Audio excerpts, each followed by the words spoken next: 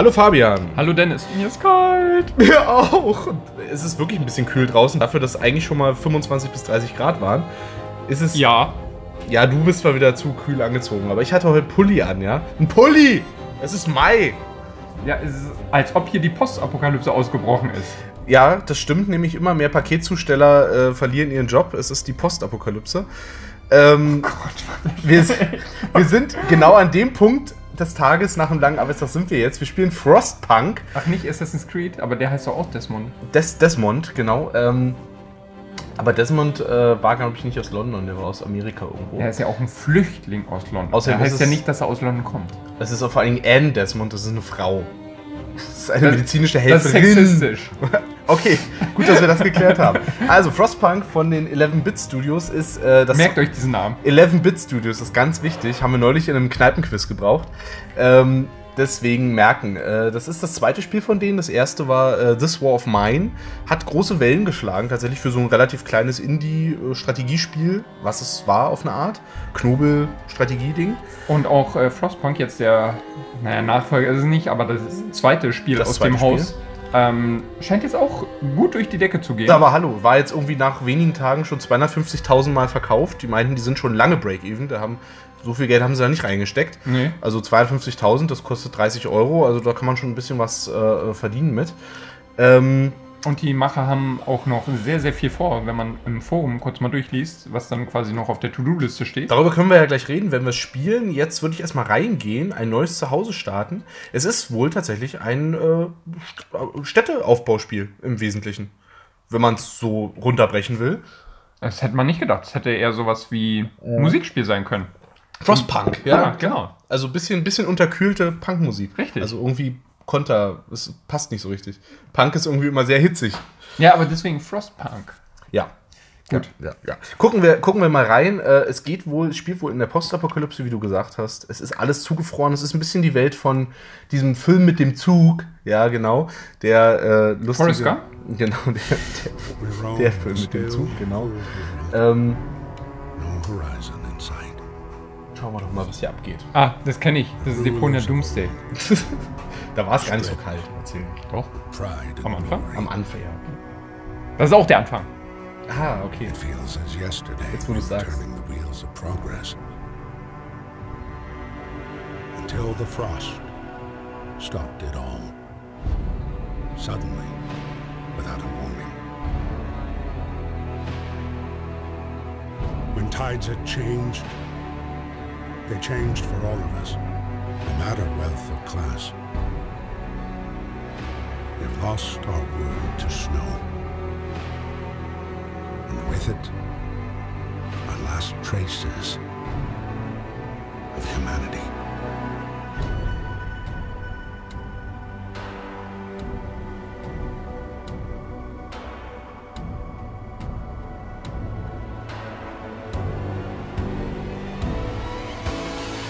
We bid farewell to plenty, for those who remained came the time to adapt. We decided to leave our homes and head north. We roamed for weeks, maybe months, leaving behind all the things we once believed had made us. It was hope that pushed us forward. Slowly, step by step, we knew the cost of our journey.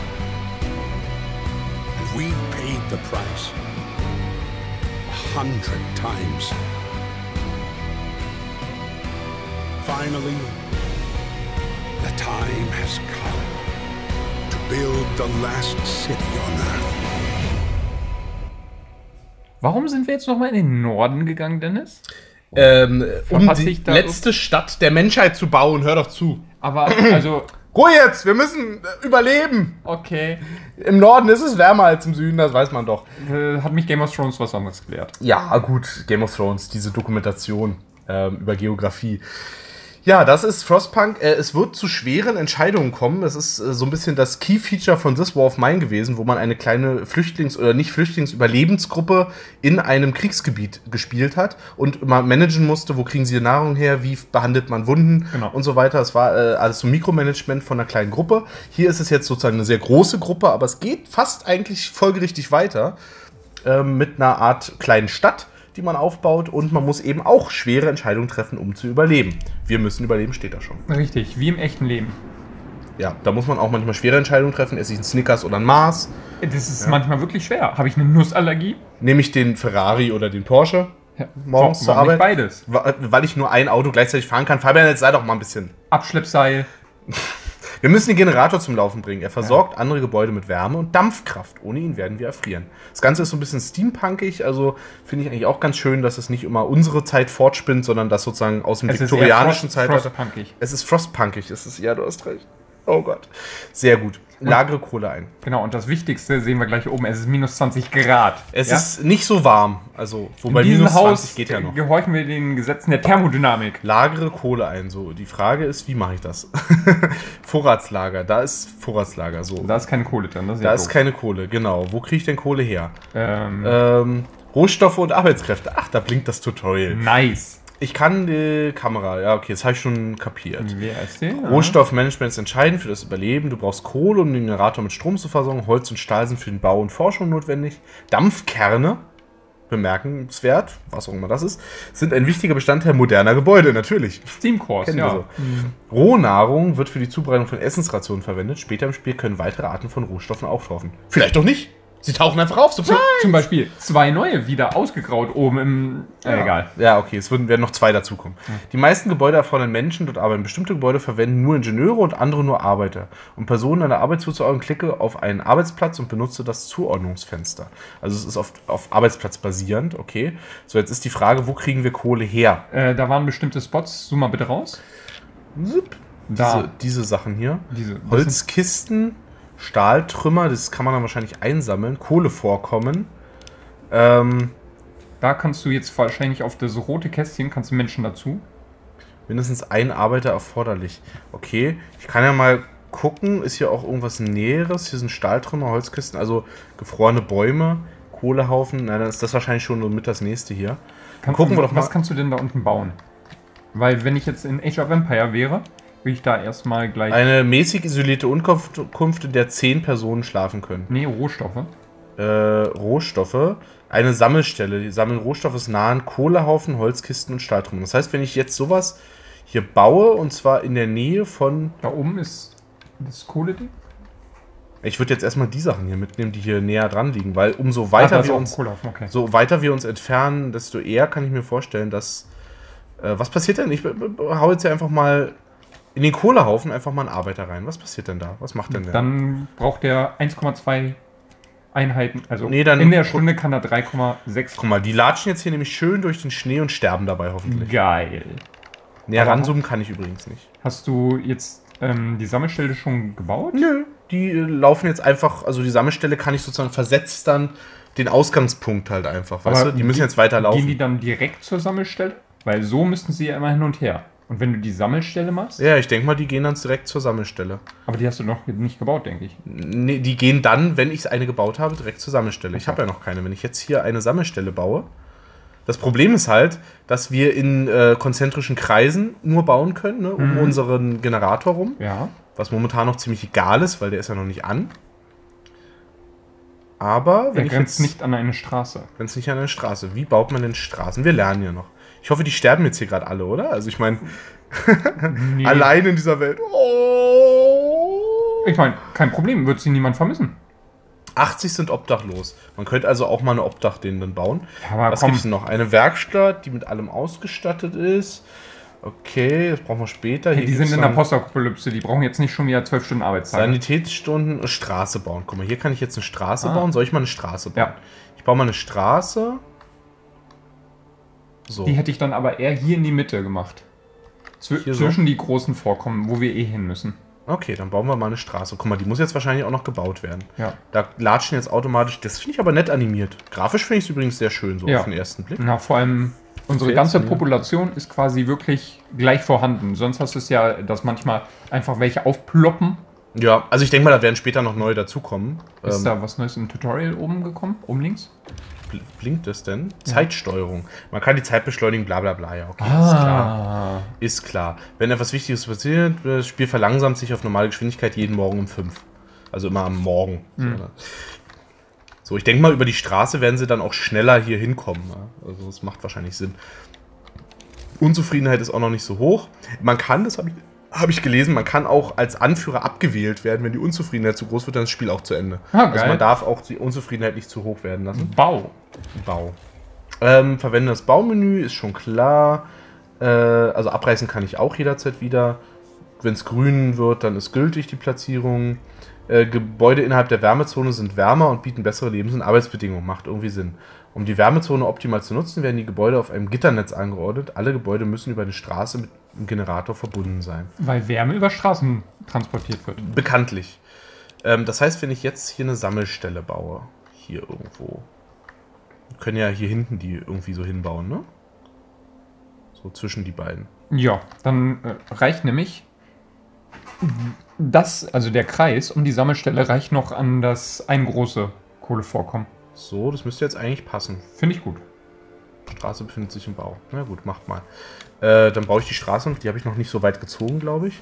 Hast du nicht? Doch, gerade so. Ja. So. Dann würde ich die jetzt da vorne mal ransetzen. Und gucken wir mal, ob das so funktioniert. Ich meine, wenn jetzt äh, innerhalb von 20 Minuten alle sterben, dann ist es halt so. Ist eine Postapokalypse, da können wir auch nichts gegen machen. Genau, da kann ich mit 1, 2, 3 kann ich auch beschleunigen. Genau, sehr schön. Oh, guck mal, hier, gleich ein Rebell, der quer rüberläuft. Ja, das ist wie, das ist wie immer, ne? Da baust du immer so rechtwinklige Straßen. Ja, und, dann, gehen die Leute quer Da rüber. hast du immer hast du so ein paar Schlaue, die dann Oh. wieder die zwei Meter abkürzen müssen.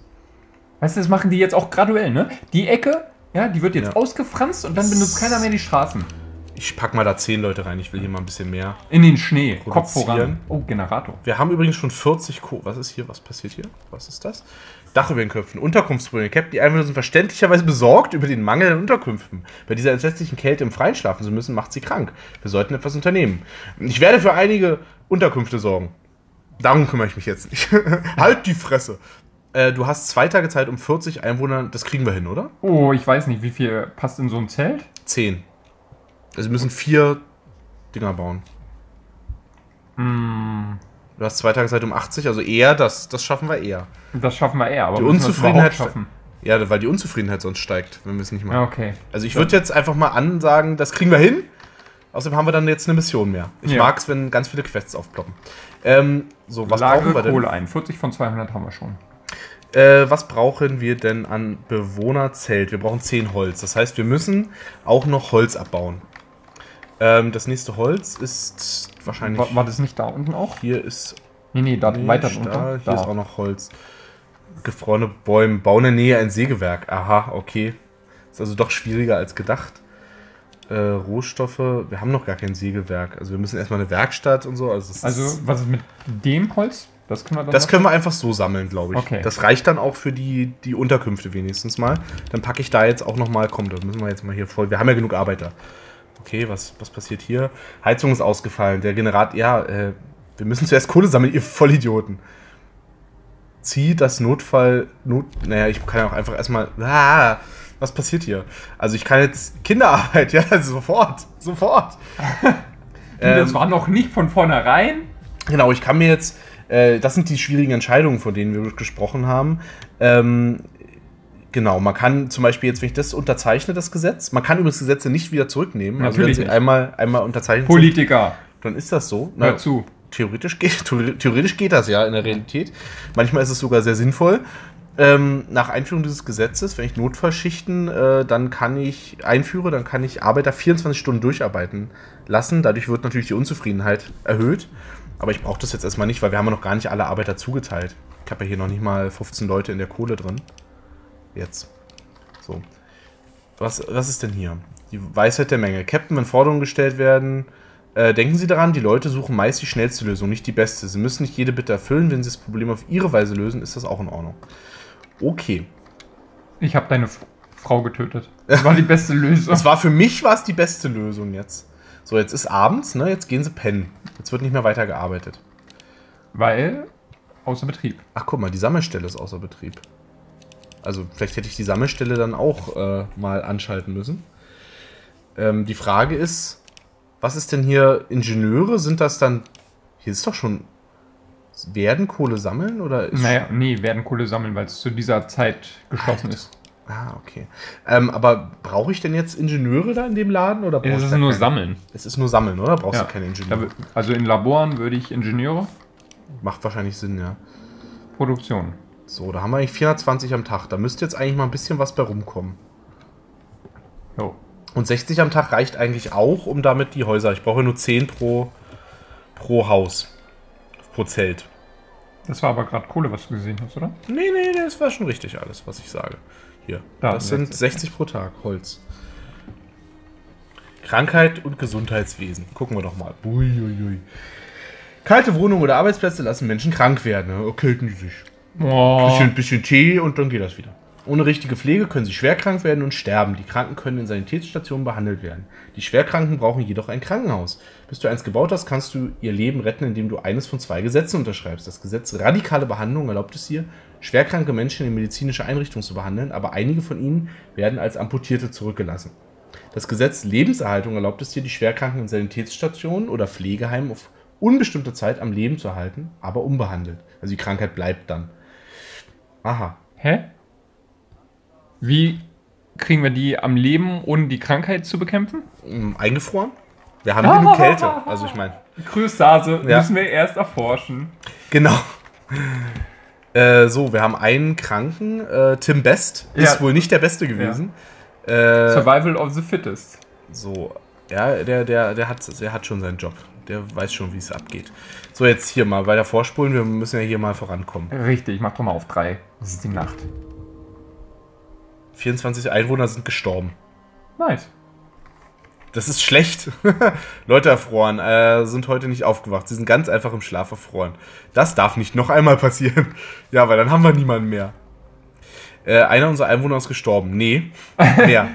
ähm, zieh das Friedhofgesetz oder das Gesetz zur Entsorgung von Leichen in. Das sollten wir vielleicht machen, oder? Also, wobei andererseits kann man die leider nicht mehr essen. Also ich weiß jetzt nicht, ob das überhaupt Aber, geht, aber. ich meine, Friedhof, dann vergraben wir die, ist ja auch nicht geil. Wir werden einen Friedhof verrichten, um, um Toten Würde und respektvoll ruhen zu lassen. Die Hoffnung steigt leicht an, kein Krankheitsrisiko. Jede Beerdigung hält einen Einwohner für ein paar Stunden von der Arbeit ab. Du musst einen Friedhof bauen. Oder Entsorgung von Leichen, eine Schneegrube. Die Kälte wird die Verwesung aufhalten. Kein Krankheitsrisiko. Leichen werden zur möglichen späteren Verwendung konserviert. Für Organtransplantation vielleicht oder so. Ich sehe hier unten zum Beispiel Organtransplantation, die man da Aha. machen kann. Du musst eine Schneegrube graben. Die Hoffnung sinkt, die Unzufriedenheit steigt. Finde ich nicht so gut. Unzufriedenheit, scheiß drauf. Darf ich auch gar nicht unterzeichnen gerade. Naja, gut. Wir lassen das jetzt mal mit den Gesetzen. Nun gut. Verzweifelte Einwohner. Letzte Warnung. Wir Äh, sind schon fünf Minuten dabei. Ja, siehst du mal, guck mal, wie, wie die Unzufriedenheit steigt. Also vielleicht ist das Erste, was man machen sollte, ist tatsächlich... Aber wenn Kohle. ich, ist nicht das Erste, was man machen sollte, erstmal den Generator anschmeißen? Ja. Das habe ich doch versucht. Die schlagen hier wieder was. Kritischer Engpass. Das ist Notfallschicht, nicht jetzt. Komm, wir haben doch noch genug Leute. Jetzt kümmert euch mal. Kann ja nicht, das kann nicht wahr sein. Dampfstufe, kann ich die schon anschalten? Ach, guck mal. Das hätten sie mir ja mal früher sagen können. Das ist gemein. Ich dachte, ich brauche 80, um ihn. Temperatur. Ah, ich hasse dieses Spiel. Sag mir doch, was ich tun soll. Ähm, genau. Äh, verbraucht mindestens sechs Einheiten Kohle pro Stunde. Du kannst Uiuiui. Generatoraufwertungen erforschen, um die Wärmeleistung erhöhen, die Wärmezone vergrößern und den Kohleverbrauch verringern. Okay, also dafür ist dann Forschung sinnvoll. Tag-Nacht-Zyklus. Die Stadt erwacht ungefähr um sechs. Die Leute haben etwas freie Zeit, bis die Arbeitsschicht um acht bleibt. Also nicht in meiner Stadt. Da geht um sechs wird losgearbeitet direkt. Kein Frühstück. So. Nachdem sie ihre Was, was ich viel schlimmer finde, dass sie von äh, 18 bis 24 Uhr auch nochmal Freizeit Was ist haben. denn da los, ey? Ganz ehrlich. Ist, du hast nicht von 18 bis 24 Uhr frei. Nee? Du kommst ja aber erst um 24 Uhr nach Hause. Äh, bei Betrachtung, du kannst 10-Stunden-Schicht verlängern, wenn du bestimmte Gesetze unterschreibst. Ja, aber so, es wird aber sofort gemacht. Da. Aber da, das ist jetzt echt scheiße, dass die das mit dem Generator nicht gesagt haben. Ja, das ist diese eine Information, da werden jetzt bestimmt nicht 24 gleich. 24, sondern vielleicht nur 5 oder so dann erfroren Ja, oder, oder sowas. gar keiner. Oder gar keiner. Die waren ja alle im Bereich von dem Generator. Äh, die Temperaturen innerhalb hängt voneinander. So, so. Wie kann ich denn die, dieses, diese Sicht sehen? Haben wir hier irgendwo diese Temperatursicht? Ich sehe es gerade nicht. Ich sehe es auch nicht. Doch da. So. Ja, wie. Ach komm, die sollen sich doch aneinander wärmen. So Dampfstuhl. Aber 6 Pro ist schon ganz schön krass, oder? Ja. Also, Wie viel haben wir eingelagert? 40. Und 200 sollen wir einlagern. ja. Und wenn jetzt, wenn wir uns mal unten... Ach, guck mal, da kann ich die Wärmesicht anmachen. Ah. Ah, okay. Overdrive in allen Wärmezonen um äh, eine Stufe erhöht. Okay. Äh, Bereichseinstellung, also ich kann nur momentan nur diese Wärmezone sozusagen ähm, überhaupt wärmen. Ähm, ich habe noch nicht genug Holz leider. Aber guck mal, langsam wird es mit der Kohle auch. Jetzt bringen die die nämlich mal ein bisschen ran. Ich ver verstehe noch nicht so ganz, wenn die Kohle jetzt hier ankommt, die muss jetzt nicht noch über die Straße hin transportiert werden. Ich glaube, die ist dann direkt da, weil sie Ja. erhöht sich ja, obwohl hier niemand langläuft. Also es ist nicht wie bei so einem klassischen Anno. So, jetzt haben wir gleich 10, dann können wir mal ein Haus bauen. Dann würde ich jetzt mal hier. gucken wir mal Gleich, gleich wo die Wärmezonen sind, würde ich es machen. Naja, na, ist ja logisch, dass ich jetzt hier die Wärmezone Ja, habe. genau. Aber ich überlege halt, wo ich dann noch eine Straße, weil ich muss ja vorher mir überlegen, wo die Straßen dann Ach, sozusagen. du kannst sie nicht aus den Zelten rausmachen? nee. Also, hä? Ich kann doch nicht durchs Zelt durch eine Straße bauen. Ich Warum muss nicht? Doch, hä? Das macht überhaupt keinen Sinn. Da, ist, da steht ein Zelt. Wo ein Objekt ist, kann kein anderes sein. Ja, aber man kann doch quasi Das ist doch durch, so Durchgangs. Das ist doch klasse. Ein Durchgangszimmer, Dennis. Durchgangszelt. Ist doch ein klassisches äh, Feldersystem hier. Also ich, ich wenn ich, ich Jetzt komme ich hier nicht mit Feldersystem. Entschuldigung. Ich, ich höre schon auf. Ähm, also hier ist dieser große Wald, da würde ich gerne ran. Äh, Deswegen würde ich jetzt hier, glaube ich, mal äh, hier vielleicht so die Straße durchbauen wollen. Ja. Ähm, also baue ich jetzt mal das Zelt dahin. Baut mal da, das wird gemacht. Das heißt, Verbleibende Zeit etwa. Achso, okay. Das hätte ich schon gedacht. Vier Tage. Nee, die kriegen das schon hin. Die Jungs und Mädels, es ist jetzt mittags. Wir haben genug äh, Dampf, äh, genug Dampf, genug Kohle, um hier das Ding ordentlich laufen zu lassen. Und also die Quest ist, könnte auch bald fertig sein. lagere Kohle ein, 200, genau. Aktiviere, steigere die Hoffnung auf 15, na, weiß ich nicht. A- acht Kinder sind gestorben, 16 Erwachsene. Eine unbeliebte Entscheidung. Ähm, Was haben wir denn Unbeliebtes gemacht? ich weiß nicht, ich, ich mache immer alles nur gut. So, jetzt dürfen hier 10 Leute drin wohnen. Wir bauen gleich noch eins, weil Wir brauchen vier. wir brauchen vier. Genau. Da müssen wir noch ein bisschen was machen und wir haben nicht mehr so mega viel Zeit. Nahrungsmittel. Beruhigende Wärme, aber wir sollten das nicht als selbstverständlich ansehen. Wenn der Generator ausfällt, stirbt die Stadt. Sei achtsam mit den Kohlereserven. Ich hoffe, dass die Kohlefelder da hinten, dass die unendlich sind, weil ich habe. Nein, sicher nicht. Ja, aber wie soll man das? Willkommen in der Wirklichkeit. Kümmern wir uns jetzt um Nahrungsmittel. Es wird keine Stadt geben, wenn wir verhungern. Finde einen Weg, Rohnahrung beizustellen und baue ein Speisehaus um Mahlzeiten. Also ich glaube, die Stadt wird es immer noch geben. Ob ihr dann noch dabei seid? Ja, okay. das ist eine gute Frage. Ich würde auch sagen, wir machen jetzt mal ein kleines Päuschen an der Stelle. äh, Ja, ist ja fast schon 18 Uhr, ne? Da ist da ja- haben wir Freizeit. Genau, haben wir Freizeit. Äh, wir machen jetzt irgendwas ganz anderes. Ja. Ich würde sagen, wir kuscheln uns jetzt schön in irgendeiner warmen Decke ein und. äh, Zum Beispiel. ne, trinken, trinken Tee, Trinken Grog oder so. heben Schneegruben aus. Essen, essen heiße Suppe. Was man halt alles so macht, wenn es einem nicht so scheiße geht wie unseren Bewohnern Richtig. da. Gut, Leute, ähm, bis zur nächsten Folge von Frostpunk. Ciao. Bis dann.